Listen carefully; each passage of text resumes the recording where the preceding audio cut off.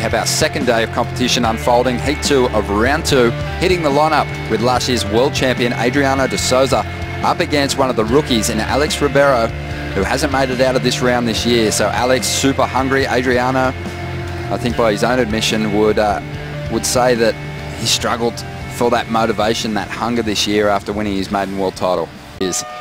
And uh, we have just seen a heat restart here. No ways ridden. 15 minutes into the exchange, we're going to give these guys another shot with 35 minutes on the clock here. Ah, that was the most legitimate restart I've ever seen. I don't know, I think a one wave broke. That was Lake Chopu right there. So uh, an honest restart, and the boys will have a fresh 35. The current world number four, Adriano de Souza, going up against the current world number 38 in Alex Ribeiro, a rookie. Alex exploded into the top 10 on the QS last season with a win in a 10,000 at Saquarema, covering up some big run-ins with the reef. Well, there you go. There's a little wave that went unridden. Um, Adriano Souza passed it up. Maybe he was just a touch too deep. You can see that thing actually spat. So an opportunity lost. Here we go, some movement now. Alex Ribeiro holding the inside position. And he gets himself in an awkward spot there, falling between the bottom of the wave and the lip. He looks okay though. He's going to get back out there. Adriano. That works in his favour. He's got priority now. And he's looking at this one. Stalling. Bit of cover there. Quick tube. And he's going to throw down a nice big backhand float as well, but doesn't quite stick it. Really looking to add some flair as he leaped off the roof. Um, and it barely got to his toes. Let's see Adriano first. Just an okay barrel. Uh, because he didn't disappear for too long, um, it's going to keep the score pretty small.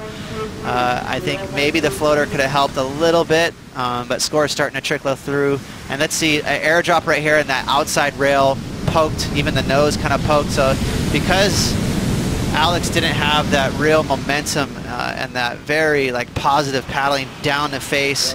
He was a little bit hesitant. He got hung up. Uh, once you get hung up, you become part of the lip. You don't get that momentum you need to break through under the barrel. Uh, put together by the World Surf League production team. Featured Adriano returning back to uh, his little hometown as world champion. People had nothing but good, good things to say about him as Alex takes off here. Just a little cover up at the start of this ride and now trying to add some points with some big turns on the inside. So in the last 20 minutes, the boys, they need to kick it into gear, Ronnie, uh, and, and, find those proper waves out here where they can throw down some big scores because right now they're going to feel like, I guarantee both of them, that these are not keepers. They're going to want to throw away these scores. And we were referencing that great profile piece on World Surf League. There's, uh, there's a lot of good profiles there. Let's check it out. Adriano de Souza getting back to Brazil after becoming world champion. We'll get to that in a moment. Let's see what Alex Ribeiro can do here, chasing the lead.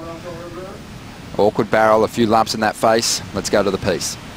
Um, that have come through in, in, kind of flying colors. So Alex, uh, I think for him, uh, as we see him paddling for this wave, he's going to have to figure it out pretty quick here. Let's see if he can do better than two. He currently needs a 1.01. Decent barrel, maybe the best of this heat so far. And then a little cutback to boot. Um, but it really it does boil down to surfing. He does seem like he's been slightly handcuffed this year. You know, we haven't really seen him open up and be explosive or aggressive, really committed. He's kind of been nursing his turns and um, and, you know, a lot of the heats that he's gone down in, the guys have kind of just had their way and outperformed them. So, you know, hopefully for Alex, rather than, you know, really getting focused on all the numbers and what he needs to do to qualify, uh, he can kind of look at some videotape and, and try and focus on his surfing. On his last wave, and maybe Adriano's starting to think back to this event last year when he was in first position. He lost out to Bruno Santos in the third round. Yeah, and this is going to be Matt Wilkinson's uh, program right here coming up in the next round. He's going to have Bruno Santos, who's an absolute beast out here, and uh, he's just so comfortable. Look, there's that double-handed stall on his forehand. Bruno's extremely skilled in tube ride. It's such an art form, and he knows how to optimize a barrel out here at Chopes. It's interesting, isn't it? With a little less movement and just subtle adjustments, Bruno just, Adriano managed to get himself a 2.7, but it was Alex Ribeiro who got the first wave of the exchange. He had a 1.5 Ross that didn't help his situation. Okay, looks a little bit flustered out there, just on, on kind of a a junky wave, but he didn't have priority. A bigger wave here, you can see that low tide wave kind of swinging out to sea. So Adriano picking up on, uh, you know what, I'm going to go ahead and just do a couple of off the lips. There's no barrel to be had. So again, even though Adriano has the lead, look at that score line, Ronnie. Uh, this is still anyone's heat. If uh, You never know, if Alex gets that one perfect wave that comes through and throws down an eight, you know, he could shut this thing out. Um, so it's going to make for a pretty crazy close, closing five minutes here, Ronnie. I really feel like there will be potentially just that one quality wave, and whoever gets it is going to win. Well, live action now. Adriano is just fighting that wave, trying to get as much time behind the curtain as possible. But he doesn't make it, and it leaves the door open for Alex as he drives out on the open face, showing a little bit more mongrel on this wave. Letting go of some uh, nice turns here. Needs to be aggressive with the end section, but just loses his fins they're seizing the opportunity and really going after it. Well, I, I, definitely was confused a little bit by this choice right here for Alex. Saying, you know, this wave did not have nice shape to it. And there was definitely no barrel on it. Um, so, you know, he had to have known that even if he rips this wave to pieces, there's only maybe a three or a four in it. Um, so right now, you know, he's going to definitely want to step it up with quality of waves. Um, sneaky little inside barrel here for Adriano. Almost pulled off a, a score. Uh, but those inside bowls, they, they really run out of water quick. They get dry, and you can see Adriano kind of lost his grip with his fins. Since Tahiti, way back in 2014. That's a long time ago. That just tells you how consistent he is. Let's see if Alex finds himself a little ramp.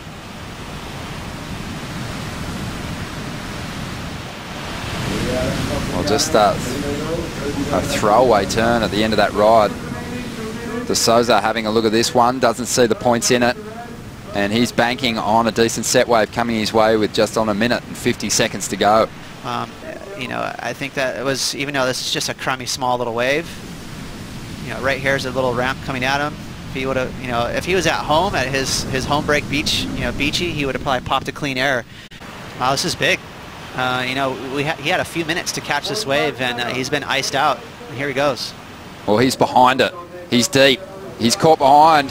And that's going to be priority gone to Alex. Let's see if the 26-year-old makes a move down to Adriano now. He does.